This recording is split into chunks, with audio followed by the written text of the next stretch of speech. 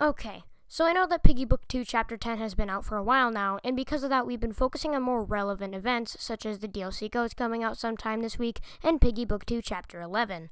But I felt like I should still include this video tutorial type thing on how to solve the puzzle in Piggy Book 2 Chapter 10, because a lot of people can't get a grasp. Maybe they have by now, but in case you haven't, this video is for you. Let's get into it. So first you start off the map, and then you usually start by unlocking the blue or green key. In this case for me, it was the blue key. As you can see, I grab it here and I take it from this girl. And the blue key is down this way.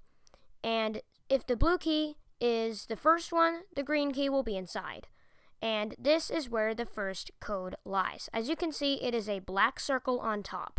The girl opened the candle for me, so if you go down that circle path, you will find the exit area, and you can go ahead and click the black circle to make it go on top of the upper one.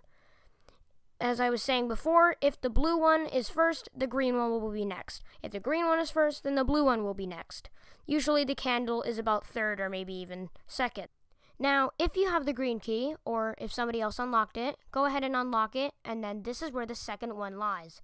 As you can see, uh, this uh, this is the black circle on top, and that's an arrow. Don't worry about that, that's just an arrow. So remember that black circle on top pointing downwards. So you can go ahead and go down through this hallway, and this is where the third one lies, usually about the last one.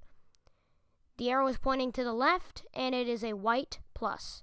There is one more arrow, but I didn't really need it because it's pretty self-explanatory once you get them all down.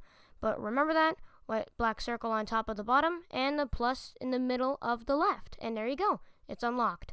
You don't need to do it first before every other achievement, but I just did because, um, you know, this map is pretty easy once you figure out the code. So there you go.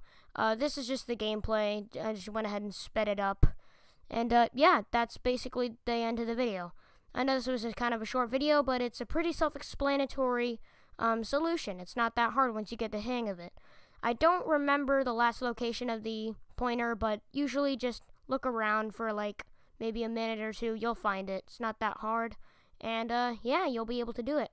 That concludes this video, and I'll see you guys later. Bye.